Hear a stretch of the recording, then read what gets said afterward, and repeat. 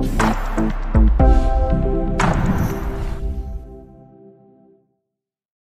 back with another video and in today's video we have an Asus ZenBook. This particular one is an UX31A model and in this video I'm going to show you guys how to open it up and how to clean up if yours is overheating. It's really easy and really simple and not many tools that you need. Tools that you're going to be needing is a workshop towel. The workshop towels you can find the links in my description. You will need a 95 or 98% isopropylic alcohol or isopropylic alcohol. You need a screwdriver set. I use the iFixit tool set as they have one of the best screwdriver set out there. They have an S2 class steel. You're going to be using a torque number 5 and Phillips number 0 from this screwdriver set. Also, you will need a thermal paste. I'm going to use an Arctic MX4 thermal paste. And that will be all to to start this process. So first thing first once you power it up completely you want to flip it over and you're going to see a whole bunch of screws down here. These are the torque number 5 screws. So grab your torque number 5 bit and all the screws are almost the same except these two mid back screws these are the longest one and the rest are the short ones so don't worry about mismatching the side screws except the long one. So go ahead and remove all the side screws and the two long ones. Also, I realize only a few of my viewers are subscribing to my channel or supporting. It will be really nice help or support if you guys can click like button on my videos or subscribe to my channel. It really helps and motivates me to make more videos and take requests from you guys. Obviously, if you find my content helpful. I really appreciate it. All right. And these two last screws right here, these are the longest one. There we go. So you can see it, these are the long one, those are the short one. To open it up, all you need to do is use your fingernail. You want to put your fingernail right underneath here and just pinch it really hard. Yours might be really tougher, just really hard so it pops open. And this is the bottom cover. You can grab an old toothbrush. Actually you do need a toothbrush to clean up here. And down here you can see all the dust build up in the heat pipe and everything like that before we do anything we're to disconnect the battery by removing this tape right here i don't know if you, yours might have it or not the battery connector is right over here all you need to do is pull this jack upward towards the ceiling and the connector will get loose. The BIOS battery is right here. You don't need to remove the BIOS battery. Now we're to switch to uh, a Phillips number zero. We're to remove the one screw and the four screws for the heatsink right here. In total of five screws for the heatsink. I made another video on how to upgrade your hard drive if you want to add an extra capacity SSD drive. Alright, once you remove that one, grab it right by the heatsink. Let me see if I'm missing another one. Let's go ahead and remove the fan screw. So remove it because we're gonna clean up the fan too. So remove that one and this one over here. We also need to remove this bridge cable right here. So put your finger right underneath and lift it up 90 degrees and pull out this cable.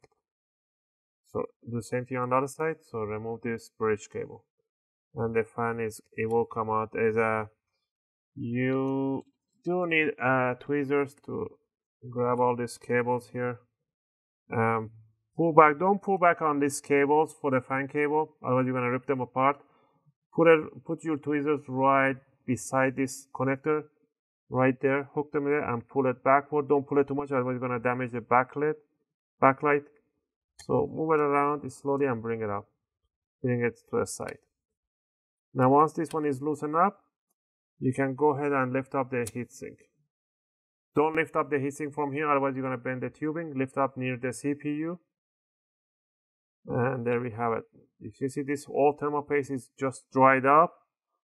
It's pretty much useless. And look at all those tiny heatsink and filled with the dust. So we're gonna take this outside and we're gonna use a compressed air. I'll leave the link in the description to a compressor that I use. There you go.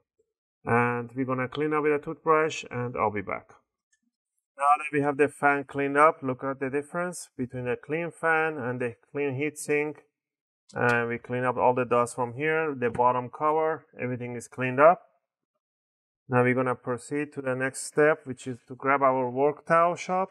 I'm not gonna grab, I have a little used one over here. You wanna grab a workshop towel and you wanna grab the alcohol and you wanna soak it in. And the alcohol is not conductive, so don't worry about uh, touching the components. And you wanna clean up the die, the CPU nicely. You just have to rub it. You do not need to remove the Kapton tape on the side of the CPU to clean up the around it. it is not necessary at all.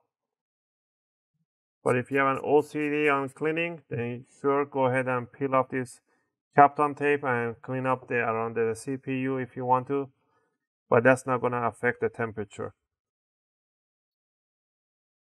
All right, clean up the other. This called a PS, PCH chip. This chip actually works for the file transfer and controllers it goes through here if you want to replace the thermal pad on this one this is a 0.4 millimeter thermal pad so a 0.4 millimeter thermal pad on that one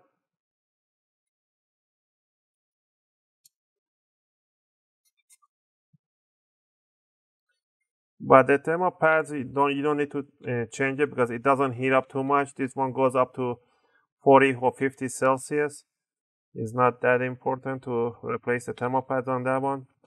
But if the client wants it, we always change them by the request.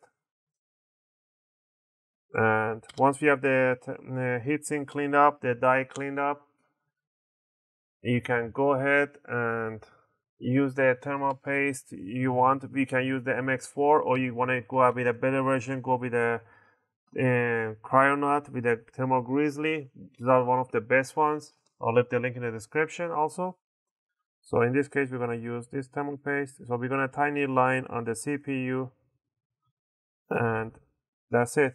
If you want to add a little thermal paste on the this die, it's going to help the thermal pad to remove any extra bubbles that it has in there.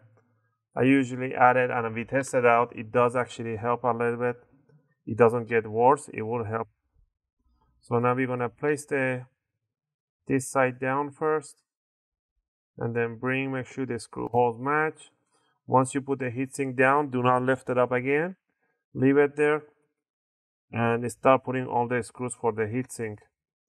Always cross screw them, do one corner and then do the opposite corner. So I'm doing this one, this one, then cross stitch them. put the two screws for the fan. For and always plug in the fan. Make sure you don't forget to plug in the fan otherwise you're going to be in a big trouble. Grab the bridge clean up the contacts on the bridge make sure there's no dust or anything. Eh, stick this IO side down lock it down stick it right underneath lock it down and the last thing would be to grab the battery and push the contacts, align it over and push it towards the motherboard. You do not need to put this tape because it's already toasted. You don't need to replace it. Just leave it the way it is. And the last thing would be to grab the bottom cover, align it right on top. And this is very important. Once you align it right there, change the bit to torque number five again put the two mid back screws and don't tighten up too much. Just over put them right there.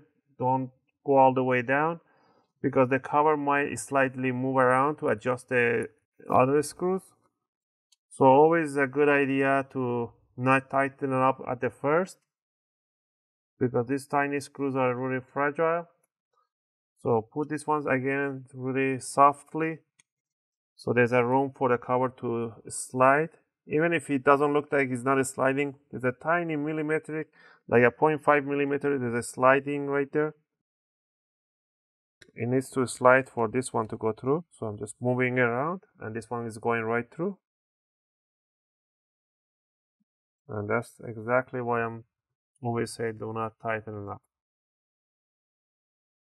again I hope you guys like this video helpful. And helped you guys out. If it did please click that thumbs up button. And if you have any question or request leave them in the comment area and I'll try to answer them as soon as I can. All right now once we put it in we're going to do the last pass and we're just going to tighten it up. Thank you for watching guys and I'll see you guys in my next video